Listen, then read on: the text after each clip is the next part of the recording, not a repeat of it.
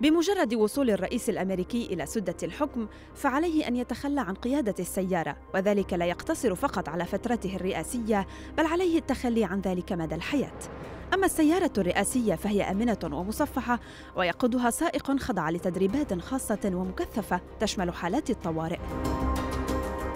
وشهد الأمن الرئاسي تغييرات جذرية بعد اغتيال الرئيس جون كينيدي عام 1963 عندما كان يستقل سيارة مكشوفة ويحيي الجمهور.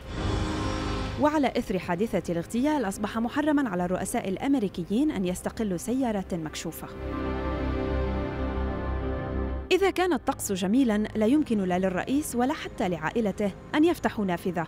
المسموح فقط هو الإطلالة من شرفة واحدة لا أكثر وينطبق ذلك أيضاً على نوافذ السيارة.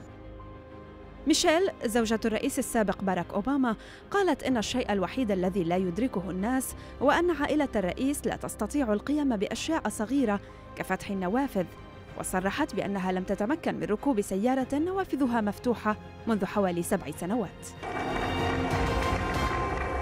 لا يحق للرئيس الأمريكي أن يسافر عبر شركات الطيران وإذا حاول حجز تذكرة سيأتي الرد عذرا لا يمكنك القيام بذلك. الرئيس يسافر فقط في الطائرة الرئاسية وهي تشبه القصر وإن وقعت كارثة نووية تتحول بلمح البصر إلى ملجأ يختبئ فيه الرئيس. وفي الرحلات الداخلية يستقل الرئيس مروحيات مارين وان وهي مزودة بأجهزة أمان ودفاع خاصة.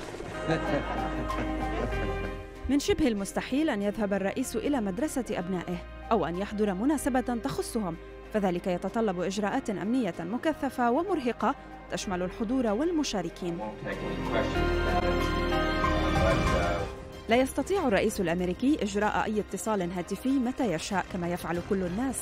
قبل ذلك عليه أن يخبر جهاز الخدمة السرية لأن الاتصال يجب أن يكون عبر خط آمن.